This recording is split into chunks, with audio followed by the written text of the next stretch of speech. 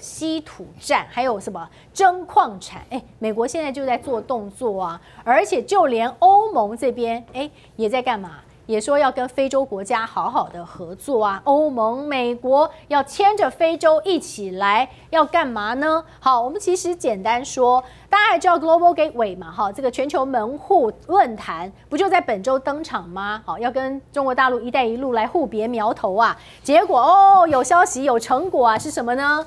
就是啊，欧盟的官员跟刚果的部长、上比亚的部长签有关关键和战略原材料价值链伙伴关系的谅解备忘录。好，所谓的洛比托走廊什么意思呢？就是要穿越一条。跟这个非洲贯穿这个非洲，也就是在刚果的南部、赞比亚西北部这边，从安哥拉的洛比托整个连接起来，好，然后呢，要把它连接，这用交通，然后促进农业呀、数会基础设施啦、扩大电力投资啦等等，那么一起联手挑战中国在关键矿产供应链主要的一个主导地位。来，赖老师，慢了，哦。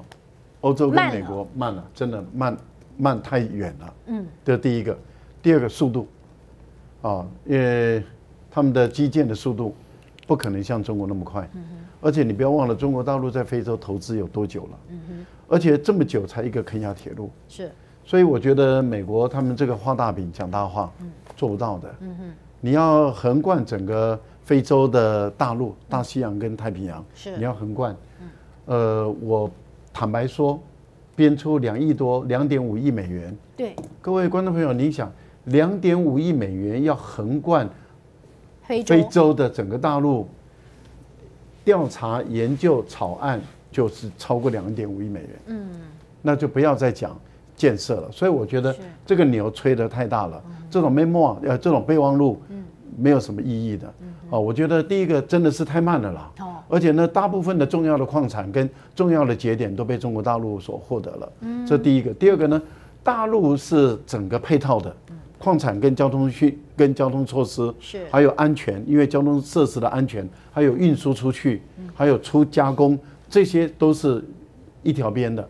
嗯，所以我觉得欧亚要跟上中国大陆的速度。不容易了，他们要再加把劲，但是那个钱挣的太少了，两千五百亿美元，看看能不能拿得出来嘛？好，来，好，再来呢？这个接大使谈谈李克强。好，我们看到呢，那么他经传离世的消息，哦，八月最后一次露面参观莫高窟，还笑容满面，民众高喊着“总理好”，但没有想到突如其来，竟然因为心脏病而过世。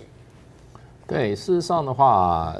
现在看起来很多消息出来，就李克强他是原来就有心脏病，对，所以呢，这次可能就是说他住的地方哈，可能不是一个，我看了一些外面很多很多这些小场，嗯，他不是一个怎么讲呢？附近的医院不是那个对心脏病是很快可以处理的，那个环境不好，所以这有点有一点有一点运气啦，对。那通常我觉得中国大陆对这个正高层首长的他这个所谓的保健医疗团队是很很很注重他们身体的，嗯，对，所以我第一个就排除他是突发的，不晓得自己身体有这样子的情况。有人说他晚上在游泳，嗯，还在突发的情况，我觉得他应该是知道自己身体的状况，只是说心脏病有的时候就是来的就非常的快。是，哎非常的快。那不过六十八岁，事实上他当时啊，这种裸退的情况是有违中国大陆的这个政治传统啊。对。那事实上现在就知道答案了，他是身体上健康，真身体真的是有问题。嗯嗯。那而且我是觉得，中国大陆这种各国这么大一个国家啊，这种国务院总理的这种工作，对他的身体造成的这种掏空啊。压力有多大？嗯，有多大？很多事情，身体有几个事情是对身体很。第一个，你要好运动，你要饮食。第二个，对身体伤害很大是工作的压力。你工作压力太。工作的压力通常让你这种精神上跟体能上都超负荷的，所以长期在这种工作上、体能上超过精神体能操作，他真的是，如果他不是做国务院总理的话，我觉得他还可以多活好多年呢。嗯嗯。所以，所以我觉得做过这种工作的，真的。他当时这个哈完全裸退下来啊，这样都有谣传，就是说那是他家里面也不希望他继续再好接受这么重生活。那果不其然，他这个身体当时应该就挺严重。是。那虽然已经就是说已经没有那么大的工作压力，可是他的身体我觉得已经被掏空的蛮厉害了。嗯嗯。然后在这个，所以六十八岁真的是很年轻就过世了。是，确实很突如其来了哈。好，来。在大陆从政啊，例如说总书记啊，啊，或者是国家主席啊，或者是总理，呃，这个位置都不好做。十四亿人口，然后这么的复杂，而且中国大陆的城乡的发展差距那么大，族群又多，然后这个就是高度文明，然后有有一些是很很落后，嗯。就是文明建设很快，但是呢，你人要跟上又不不那么容易，嗯。然后七嘴八舌的又很多。你还要有地区性的平衡，还有国内外的大小事都要处理。坦白说，要管理好这么一个大国，要养活十四亿人口，不是一件容易的事情。所以我觉得，在中国大陆当高管的啊，我们感觉到他们真的是人才精英汇集到中央。嗯，呃，这些人工作量真的是太大了。我觉得真的是。不是人干的工作，因为在中国大陆当官真的不是人干的工作。说到这个中美关系，说在这个亮哥，因为刚才我们在谈哈，到底是不是你看，美国仍然还是要跟中国大陆要竞争，又说要合作，可是这个竞争难道还是持续要遏制大陆的发展吗？好，用这样子的一个方式吗？今天你看哦，有媒体就有报道，外媒有报道，美国有所谓半导体去中国化五年计划，好，五年计划。那但是呢，当然企业也在看着政府的动作调整事业，但如今当然印度是不是渴望扮演一个很重要的角色？因为很多就迁往这个印度呃设厂，比方说像苹果，还说苹果五年内要让 iPhone 在印度产量扩大到目前的五倍，但是好，但是。当然呢，美国有他们的这个做法哦。雷蒙多当然可能也还在努力吧，哈。拜登不知道怎么想。可是呢，前台积电研发副总林本坚，那么根据彭博他的报道就说，其实呢，这位林副总他有讲，美国其无法阻止中兴、华为等中国大陆的公司在晶片技术方面取得进展。中兴应该能做到以现有的 ASML 设备推进到下一代五纳米制程的技术。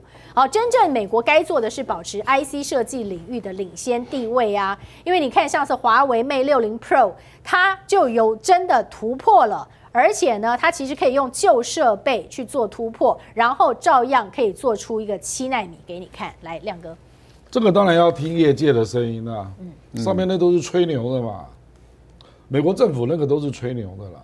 事实上，三星也抱持同样立场，他说要限制中国。他们卖给中国东西，就等于是加速让中国的半导体可以自主化，连三星都表达这种立场嘛。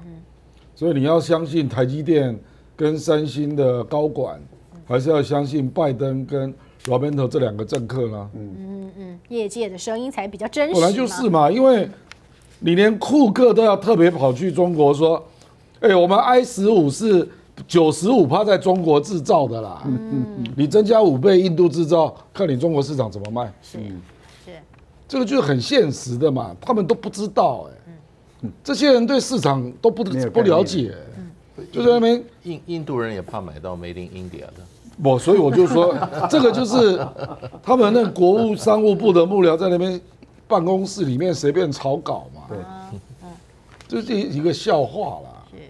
什么叫做去中国化？那你叫英特尔撤资啊？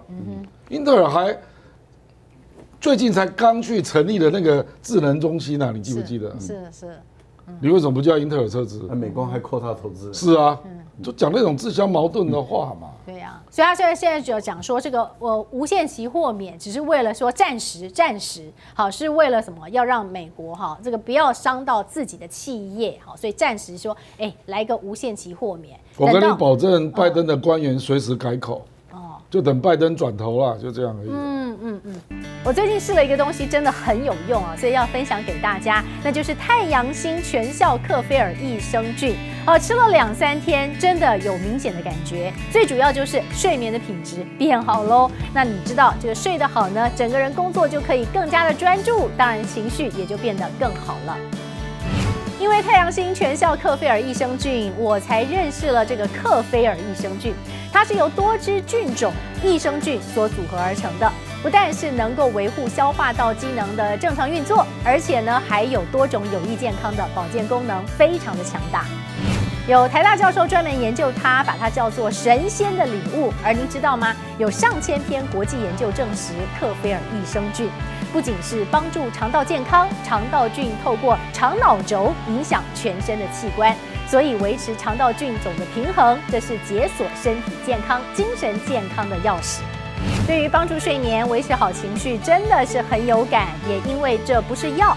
有季节敏感、代谢困扰、关心恶性细胞风险的好朋友们，选择太阳星全效克菲尔益生菌，做好日常的保养，身体轻轻松松，没有负担。每日克菲尔，时刻美好，Good feel feel good，请上快点购为健康下单，也记得输入推荐码，有额外的折扣哦。